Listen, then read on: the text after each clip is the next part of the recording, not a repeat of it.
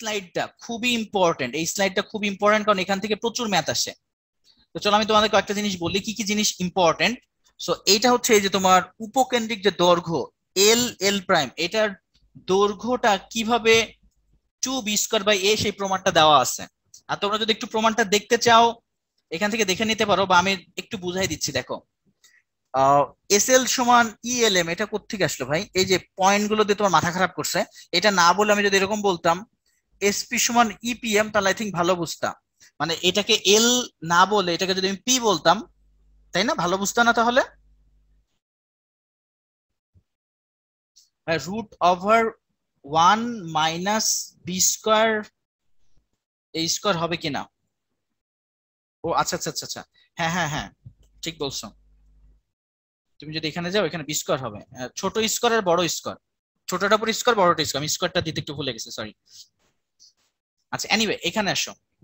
আমি যেটা বুঝতেছি মানে যেটা তোমাকে বলতেছিলাম, যে এটা এল দেওয়া হয়েছে জাস্ট দৈর্ঘ্যটা বোঝানোর জন্য। বাট ওই একই জিনিস এটা মনে করেন ভাই, এটা আকাশ থেকে আসলো কিনা? না ভাই, ওটাই এসপি সমান ইপিএম তো দেখো, ওই পি এর বদলে যদি এল লিখো, তাহলে কি হবে? এস এল মানে S L is equal to e L M এখন খেয়াল করো তো, এই এল এম আর এস জেড এটা একই কথা না?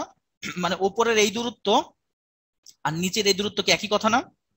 আচ্ছা এই দূরত্ব যদি একই কথা হয়, তার মানে এই লাইন থেকে পরের লাইনটা বুঝছ?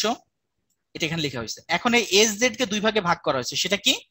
একটা হচ্ছে সি জেড মানে এই যে বড়টা থেকে বড়টা থেকে আমি যদি এই পর্যন্ত বাদ দিয়ে দিই। কেন? আমি সরাসরি এস জেড এর মান জানি না বাট আমি এতটুকু জানি, এই লাল কালিটা হচ্ছে এ বাই ই আর এই নীল কালিটা হচ্ছে এই তাই না ভাইয়া? এই লাল বড় দূরত্বটা হচ্ছে এ বাই ই আর এই ছোট দূরত্ব হচ্ছে এই তাহলে এই যে যতটুকু গ্রিন করলাম, সেটাকে আমি এরকম বলতে পারি না, সেটা মানে আসলে এ বাই ই মাইনাস এই দেখো তো। এটা হচ্ছে তোমার এস জেড এস জেড এর মানকে আমি এটা বলতে পারি?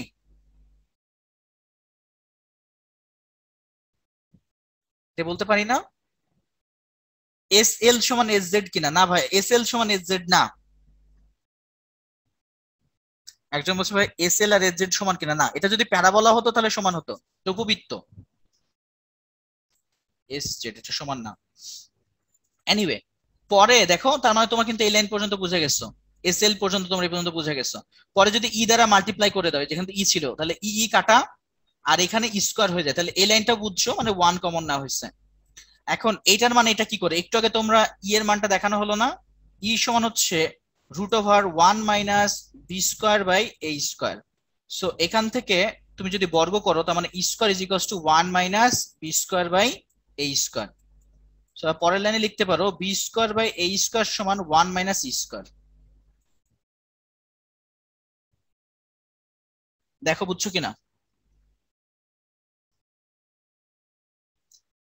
সব জিনিস আসলে একই, শুধু পার্থক্য হচ্ছে ই এর ভ্যালুতে সো ওয়ান মাইনাস ই স্কোয়ারের মানটা হচ্ছে b square by a square তো এটা হচ্ছে S L so S L যদি হয় বি স্কোয়ার বাই এ তাহলে নিচেরটাও কি হবে? বি স্কোয়ার বাই এই হবে। তো টোটাল তাহলে উপকেন্দ্রিক লম্বের দূরত্ব কত?